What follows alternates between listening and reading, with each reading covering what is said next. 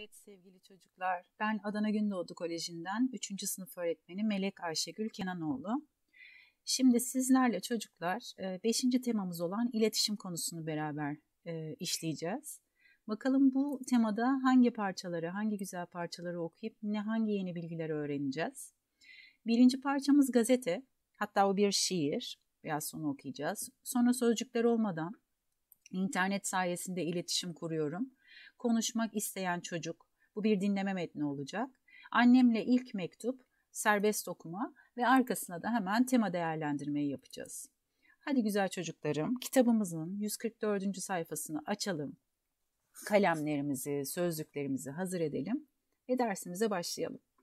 Hazırlık çalışmalarında iletişim araçları nelerdir? Söyleyiniz diye bir soru sorulmuş bize gördüğünüz üzere.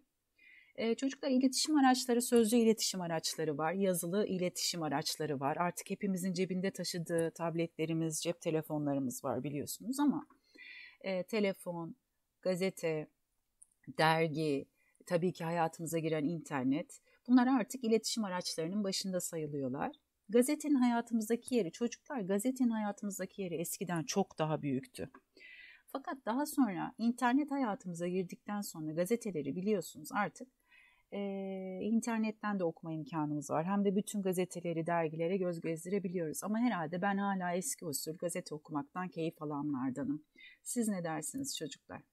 Hadi güzelce şiirimizi okuyalım. Vurgu ve tonlamalara lütfen dikkat edelim. Gazete. Hazırlayıp özenle matbaada basarlar. Her gün aynı düzenle bize ulaştırırlar. Haber, gezi, röportaj fıkra, makale var. Karikatür, çizgi roman, daha neler neler var. Yazarına, çizerine, bütün muhabirine, emekleri geçene hepimizden saygılar. Bu güzel şiiri Şevket Terzi yazmış.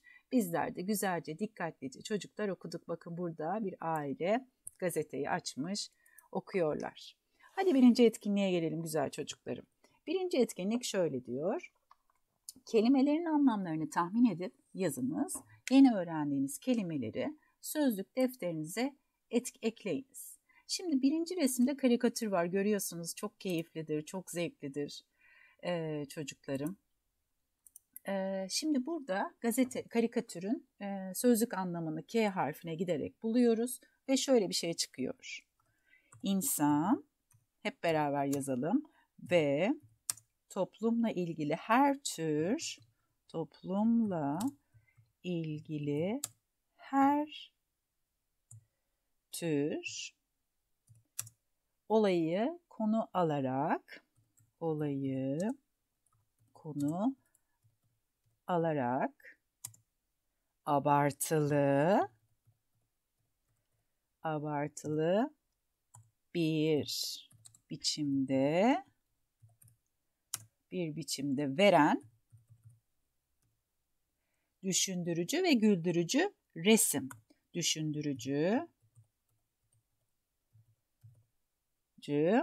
ve güldürücü resim. Çocuklar gazetelerde, dergilerde görebilirsiniz e, rahatlıkla. E, çok keyiflidir okuması, izlemesi. Ben çok keyif alırım. Matbaayı biliyorsunuz çocuklar, dergilerin, gazetelerin basıldığı yer. Matbaa ile ilgili adre, e, sözlüğümüzde de şunu bulduk. Basım işi yapılan yer. Basım işi yapılan yer diye geçiyor. Diğer kelimemiz ise, diğer kelimemiz ise röportaj.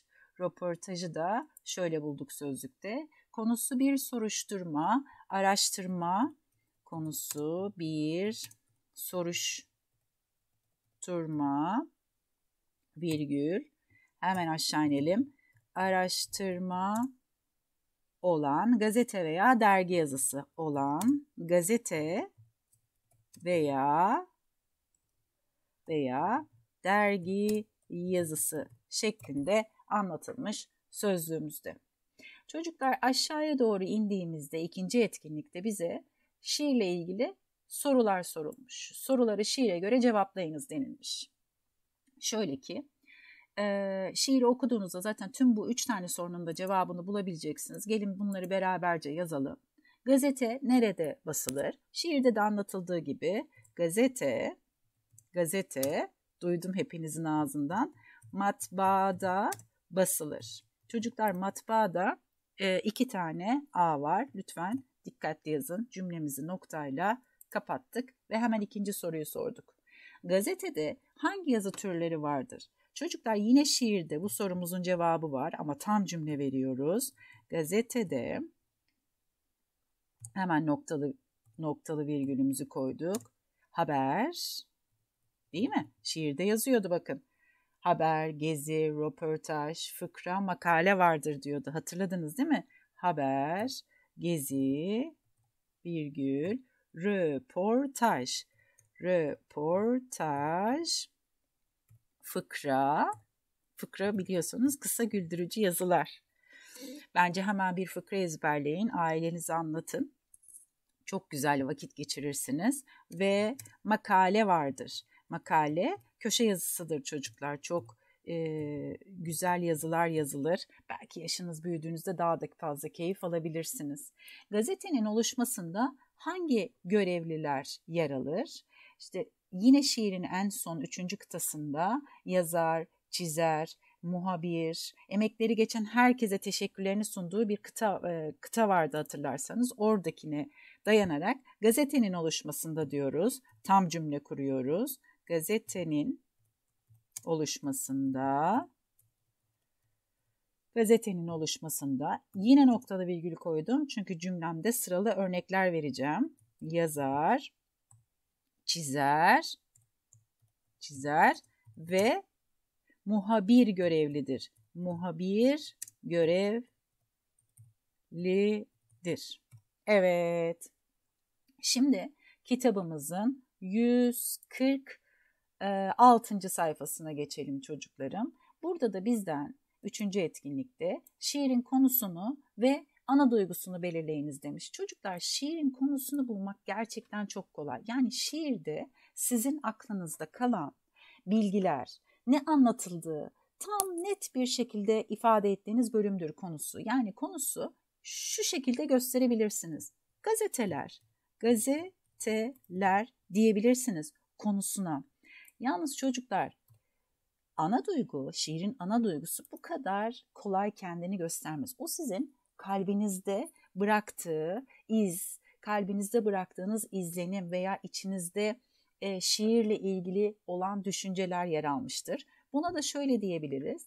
Mesela bütün şiir boyunca gazetenin önemi, gazetenin emeklerine, gazeteyi gaz basan, e, emeği geçen herkese saygı duymamızı gösteren yazılar vardı görüyorsunuz. O yüzden şiirin ana duygusuna da gazetecilerin, gazetecilerin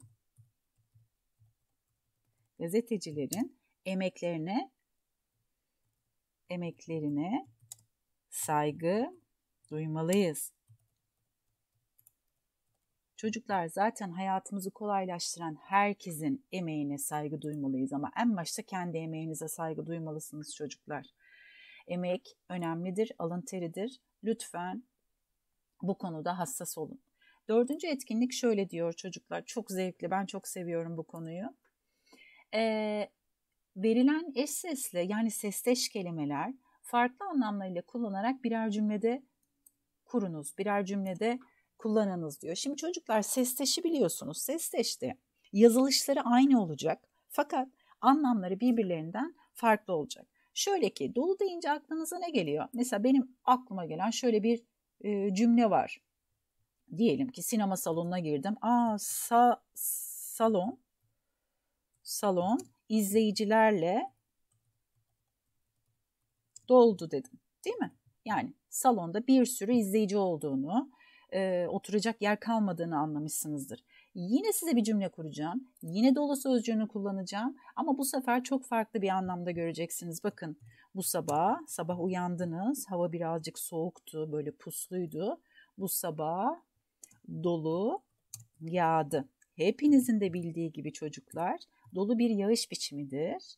Biliyorsunuz yağmurun sanki gökyüzünden buz tanecikleri yağmış, yağıyormuş gibi görürsünüz. İşte iki tanesinin yani iki dolunun da anlamı yazılışları aynı ama anlamları birbirinden o kadar farklı ki çocuklar. Mesela bir örnekle daha gidelim beraber.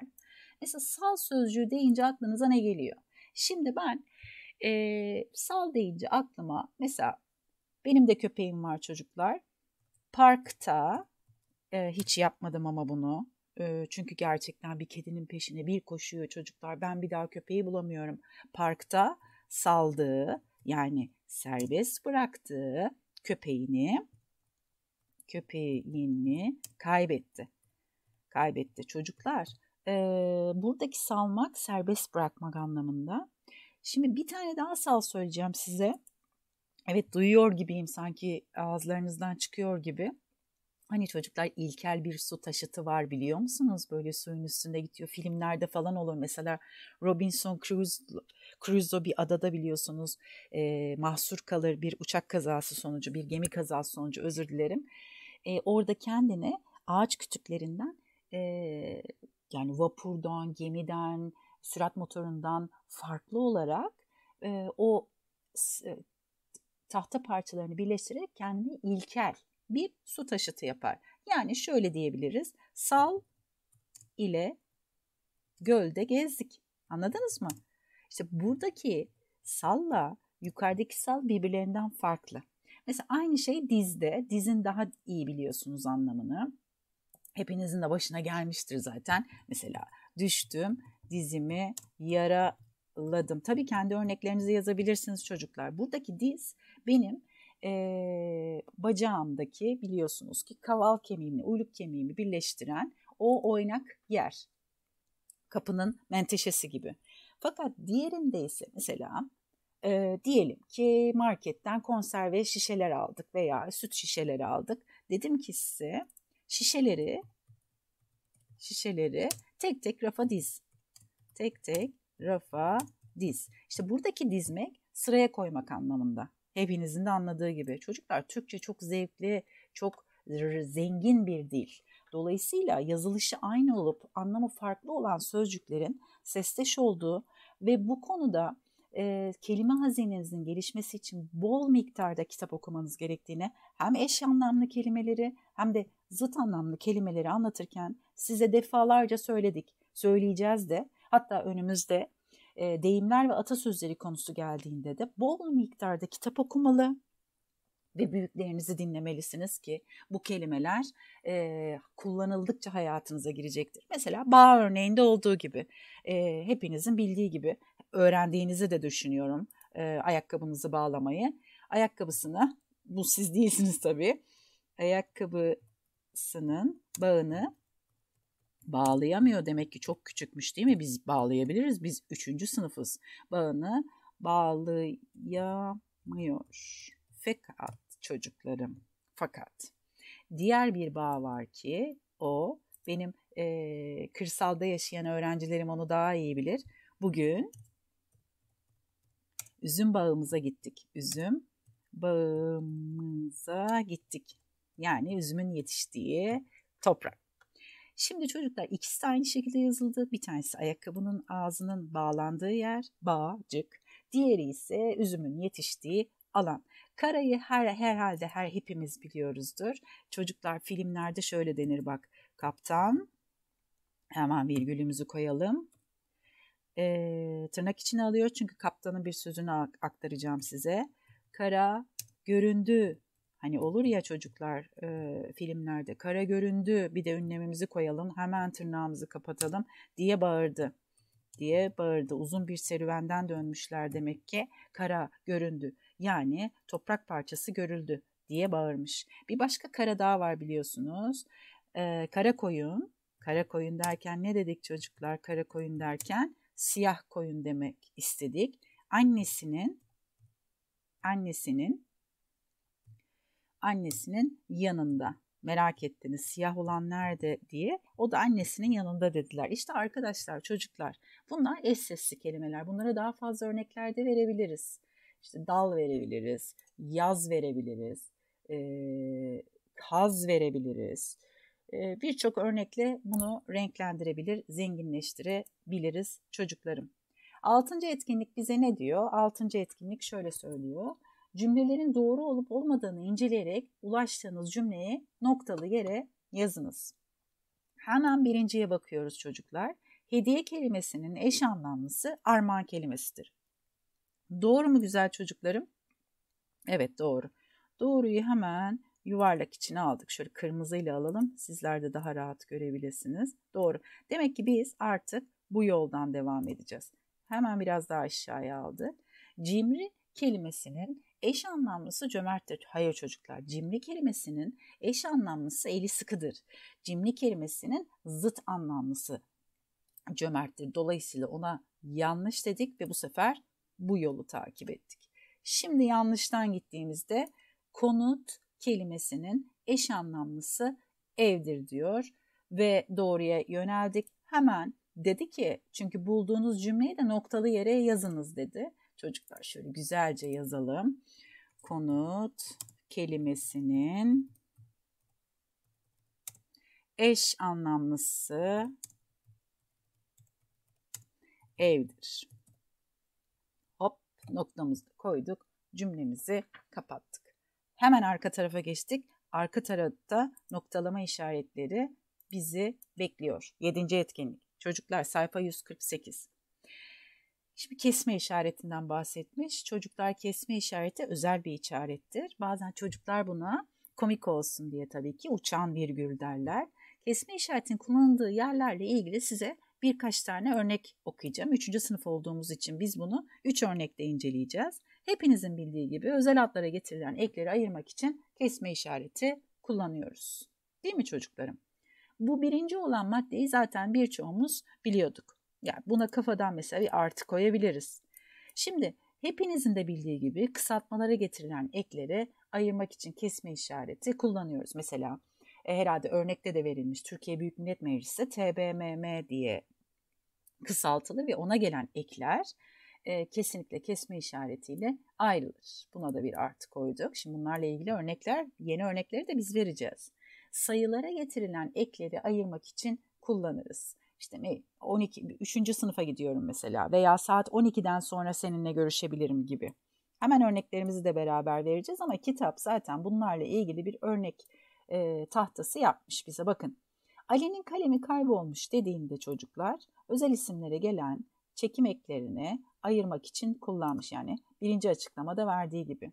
İkincide ne demişti? Demişti ki kısaltmaları getirilen ekleri ayırmak için kullanırız. Ankara ziyaretimizde Türkiye Büyük Millet Meclisi yalnız çocuklar kısaltmalara gelen ekler harflerle kısaltıldıktan sonra ona uyumlu olarak gelir. Yani Türkiye Büyük Millet Meclisi'ni demeyiz. TBBM'yi gördük deriz. Burada da kısaltmalara getirdiğimiz eki ayırdık.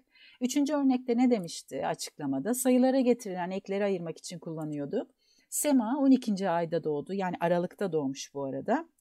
Biz bunu e, tarihte de saatte de ayırabiliriz. Şimdi bizden örnekler istiyor.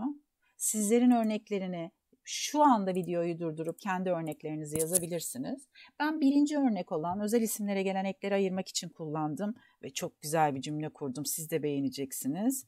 Ülkemizin kurucusu, büyük kurucusu, çocuklar büyük atamız tabii ki Mustafa Kemal Atatürk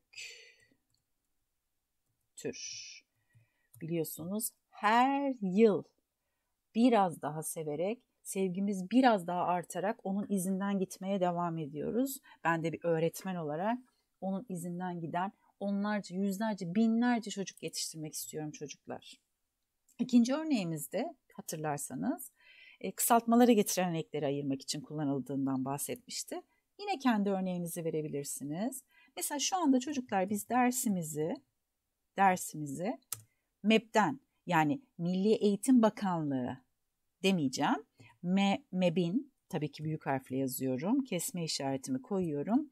MEB'in kitabından işliyoruz. Kitabın kitabından iş e, işliyoruz.